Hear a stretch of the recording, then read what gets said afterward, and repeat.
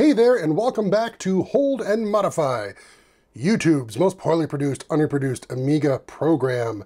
And yes, today I'm doing a Lightwave video. Goodbye, half of you.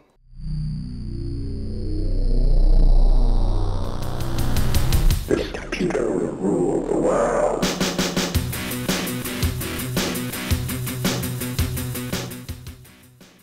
All right, so in all seriousness, now that we're back, those of you that stayed for this Lightwave video, if you watched my last video, I covered and kind of briefly showed at the end the original production model Star Trek Voyager spaceship, okay, in Lightwave. It was originally created in the Windows version of Lightwave, and then I've brought it over to the Amiga version of Lightwave, and I promised that we'd try and uh, make it look more like it looked when it was in the show instead of the crazy clown colors it was. And that's going to involve a couple things. One, getting to show you some Lightwave again for my Lightwave fans out there. Uh, and then also being able to show you how to adjust lights in Lightwave and uh, make the render look nice. So uh, while we wait for this thing to load, as you know from the previous video, it does take quite a while to load. So I'll see you on the other side. So here we go. Uh, we got the Voyager all loaded. As you can see, we're in point only mode. It's about the only way I'd recommend. We are on the uh, Always Boots Amiga 3000 using a original Phase 5 50 megahertz 68060. It is using a Picasso 4 card, but I am not mode promoting Lightwave. This is the Picasso's built-in flicker fixer. Yes, I'm aware the 3000 has its own flicker fixer, but the Picasso, that's one of the great things about it, why it's also a great companion card to computers like the Amiga 4000, is it will grab all of the Amiga video and flicker fix it. And uh, actually the Picasso has these little jail bars that it's, that it's passing through from the uh, Amber chip. But, um, so just letting you know what the system specs are here. And we're gonna go to object and you'll see the total polygon count. This is the total polygon for all the objects loaded in the scene. Almost 300,000 polygons and 250,000 points. And the Voyager model is comprised of a bunch of different things here, as you can see. So it's, it's, it's, a, lot of, it's a lot of parts. it was a lot of parts to put together and manage. I am also going to use the Picasso 4's 24-bit uh, display so that you can see the Voyager in its more proper 24-bit glory that it would have been on television instead of using, on an Amiga 3000 at least, 6-bit uh, ham. The first time you render something in Lightwave, it has to go through and filter all of the texture maps, okay? And this is a, a bit of a, a time-consuming process, so I want to get it to go through and filter these. Now, it only does this the first time on the first frame, and then every frame after that, it won't have to do this. It'll just zip right through it. This is basically we're having all of that memory I talked about helps. Now, We didn't see you install that 256 megabyte gotta go fast Z3 RAM module into this 3000. Well, you didn't because this phase 5 I have in here has 128 gigs in it, and that's just enough, plenty enough to, to get this sucker loaded and working. So I didn't quite need that memory. However, if I wanted to do more than just the Voyager, maybe have multiple Voyagers or have multiple, or have a, a Voyager and a Klingon bird of prey or a Klingon battle cruiser and some other stuff, you can very quickly see how the memory is going to get chewed up really fast. Polygons and images, folks, they chew up memory in Lightwave, yes, even Amiga Lightwave, very, very quickly. All right, we've begun the render process, so here we go. Now you can see I set this to low res, but even on the mighty 50 megahertz 60 because again, this is a very intense production quality model, it's, it's kind of slow. And if we're trying to get things moving fast to try and test the lighting, we need to make this process a lot quicker. Otherwise, we're gonna be here all day. And we don't want to be here all day. We want to start getting this dialed in. And the faster you can get results, whatever you can do to your scene to get the results faster, the more productive you're going to be and, and you're just going to be in a happier place. It allows you to be more creative too because you're getting that feedback quicker. So let's figure out what we can do to try and make areas of this faster that we're concerned about. We have to take it like a section at a time. So here comes our render, and it is definitely coming in faster. And as I said, yeah, the, the, the initial setup phase, Unfortunately, render resolution doesn't affect that process. That's always going to be the same consistent speed. It takes a good 30 seconds for the uh, initial setup phase to take place. But now, the actual rendering, because you can see the pixels are crawling along quite nicely. So how are we going to find what light is doing what, right? There's a lot of lights in here. And I don't want to keep pressing F9. So one of the things, the tricks we can do, we can turn all the lights off and just start turning them on one by one to find out who is doing what. So let's do that next. So yeah, we have, we have this real obvious red one. My guess is this red light we're seeing is the uh, Bussard collector or Bussard collector on the front of the engine that's supposed to cast a little bit of light, but not this kind of crazy light. So let's go ahead and tag that one. I may have actually just guessed and picked it. Uh, with my amazing ability to guess and pick things, right? So we got top nacelle port red. There's a red one over here. Top back port red. There's another one down here. So there's a lot of, let's go to the top view here. And now we can see there's, here's, here's all of our ports. So this is why it's important to name your lights. Just, just, just don't start adding lights willy-nilly to your scene in Lightwave. Name them. Tell them specific, like see how this, how, see how specific this is? Top, nacelle, port, red, okay? And for those of you that aren't into nautical stuff, port is left, starboard is right. And how it's easy to remember which is what, left and port have the same amount of letters in it, okay? That's a little tip trick there. So let's go ahead and process all of these red ones that say port. So what I'm gonna do to try and speed things up too, let's find, what do we got here? We got one, two, three, four, this one just says bottom nacelle, okay. So we've got five per side, right? And we can get through these pretty quick. So let's go back, and one of the things we're gonna do is start with the first one. See this intensity fall off? Yeah, it's off. this is a, a, one of the problems from going from the Windows newer version of Lightwave to the Amiga version. It lost its fall off. So I'm going to quickly go through here and just turn this intensity fall off on for all of these. So just doing that, we all, all we've done is turned on intensity fall off and ray tracing. We left the default to one. Remember I explained this in an old video. What does that one mean? Well, if we go to D, I'm sorry, if we go to options, we go to layout view, we can see here that each of these grid squares here, see these little squares in the background? Each of these is 50, unit 50, all right? That's the scale we're at. So one of these is 50, and you could say it's 50 SI, you could say it's 50 meters. I mean, this is the Voyager. I don't know if it's built to scale. My memory is not that good anymore, but 50 meters. So that means this light here, if its intensity fall off is set to one, it's gonna cast no light. In fact, you can see right here, like here's the light. If, if we set it to 50, it's going to cast about in a square this big, which may be desirable, but I'm thinking it may actually need to cast light to 100, right? So it covers two of these squares of light. So let's do that. Let's go here, let's go to every single one of these and set this to 100 units. So now what we're seeing is just those red lights. And at a value of 100 units, that's pretty aggressive, right?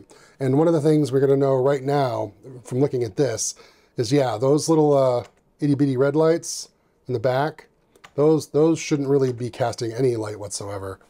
If they did, it would be only if you were, yeah, these ones back here.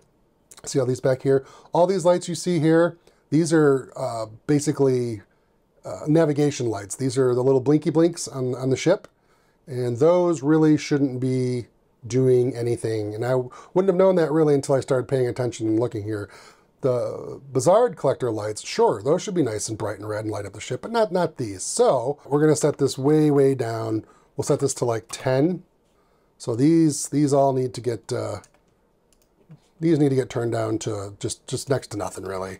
honestly don't even need to ray trace these at this point because their intensity fall off, and see ray tracing is off by the way, that's why Some of you may have caught that before I press F9 and were yelling at the screen, but ray tracing was turned off, so that's why the ship was still washed in all of that red light, because there was nothing to occlude it, nothing to block the light. But these little guys, they don't need to ray trace because they're so tiny.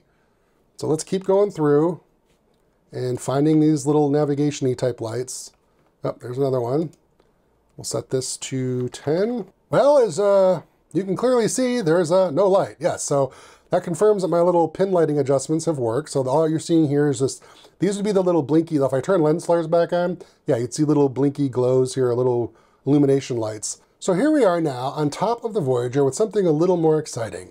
Here's the Voyager's logo name, and this gets lit up with uh, an insignia light, as they call it. And there it is, insignia point, insignia spot. So the little trick with these two lights, why are there two lights for insignia? When you're looking at a spotlight. I wish I had like something that looked like a spotlight. Do I have anything that looks like a spotlight? Here, pretend this is a spotlight, all right? So here's the light coming out. Well, in Voyager's case, let's say that I don't want to spill coffee everywhere, so pretend this is the spotlight and the light's coming out. In Voyager's case, the spotlight is always kind of pointing down. So the little glowy lens flare that would normally shine in the camera and look all cool and cinematic, you're never really going to see it because it's always pointing down. So what they've done here is they've added that little point light in, in, in its place, kind of like almost in the same spot, and they've turned lens flare on. So there's always going to be this little sparkly, you know, spiky looking glowy thing where that, that light's at. So no matter where the camera is looking, okay, you're always going to have that little glowy lens flare coming off the light because otherwise you'd never see it from the, uh, from the spotlight. So that's what that point light is being used for in this case. So that means the Insignia light is the only light casting light.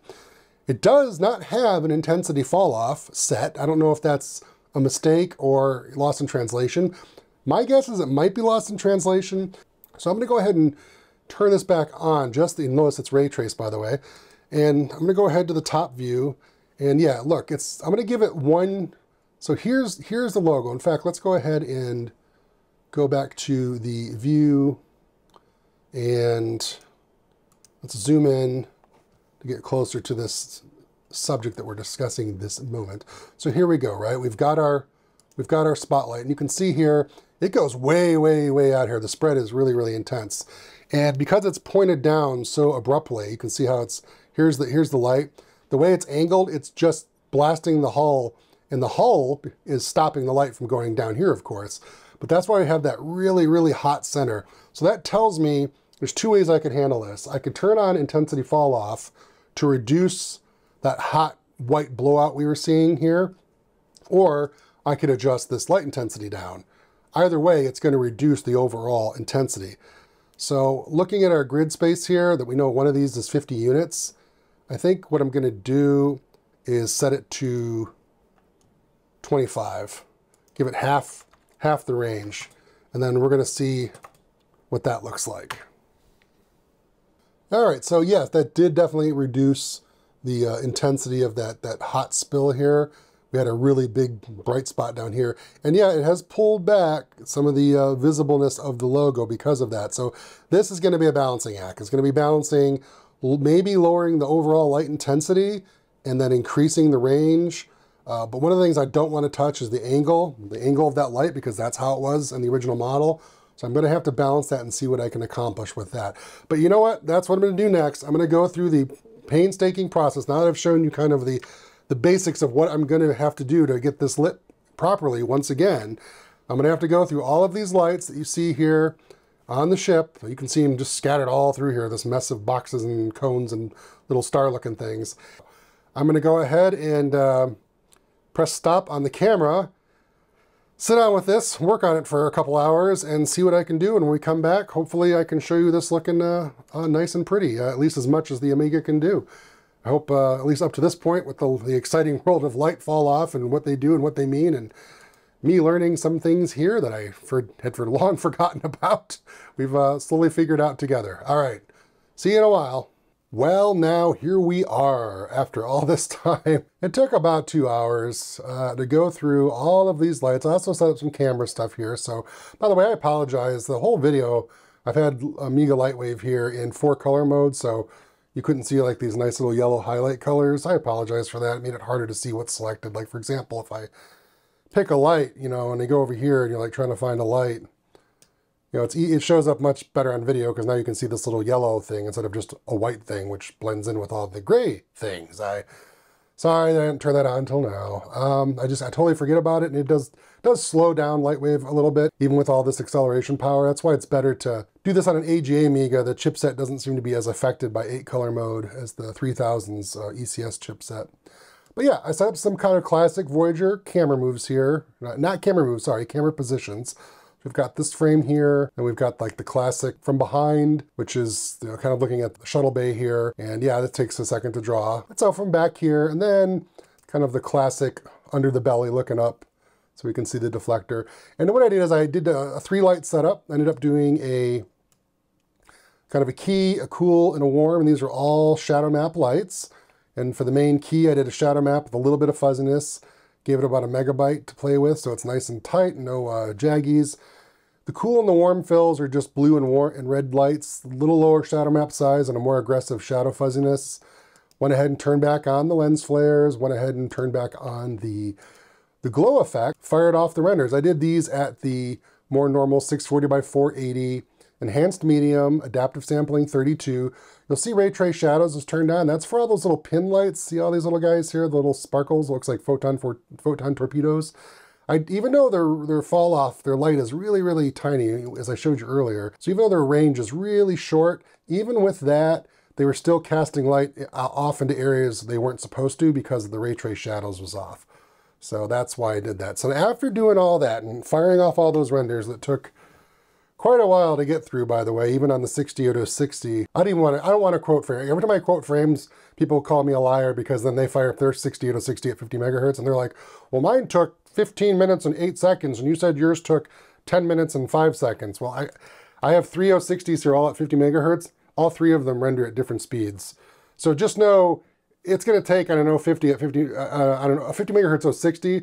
It's going to take probably 20 minutes 15, 20 minutes, maybe a frame. That's, that's my rough guesstimate, but let's go ahead and load up ADPro and let's check out those renders. So here we got Voyager 1, which is that first keyframe. We'll load that up. So it's detecting as an IFF 640 by 480. Now, this begs the question, why is Picasso 8-bit the only option? Why is there no Picasso 32? Want to do ham 8 on the Picasso? Execute? What's going to happen? why can't we see Picasso 24-bit?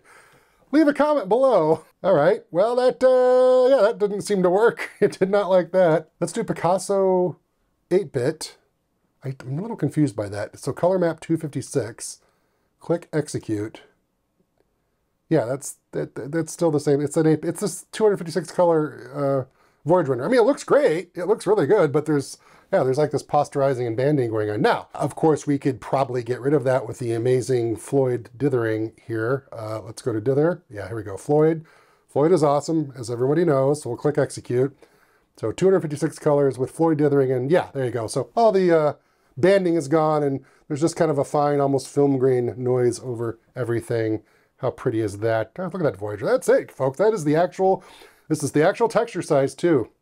I didn't scale the textures down. I got them all over, didn't scale them down. So yeah, now you're actually seeing the, now that we've given it enough colors, by the way, you can see the green and the red navs all showing up, the little pin lighting, that's much better. In fact, let's go and let's load up that first one again. Be fair to it. Give it all, give it all the juice, all the colors. Yeah, much better. So you can see all the little lighting here. That's that's a much better, better look for it. And then we'll go ahead and load up the third one on the Amiga as it was back on TV all those years ago. Hey, look at that. See? Very pretty. Even in 256 color Floyd mode. That looks really nice. I mean, honestly, this is a little more faithful to, you know, AGA chipset, right? I mean, Picasso's great and all, and it's 24-bit, but hey, this is this is actual Amiga graphics showing this here, huh? Nice. So pretty. That is so pretty. All right. Uh, for those of you that do follow my channel, I'm going to put these images in my community tab on my YouTube. So if you want to see them a little bit better, I'll stick them in there and uh, you can click on them. I think the community tab lets you like look at them and download them. So I'll save these uh, IFF to JPEG, something more compatible for the Windows world, right? For those of you that stuck through this whole video, hey, rock stars, thank you so much. Uh, I hope you, you had some fun seeing Lightwave do stuff, and uh, I hope you enjoyed seeing the Voyager finally come to life uh, on the Amiga, where it belongs, right? All right, I'm done with this video, finally.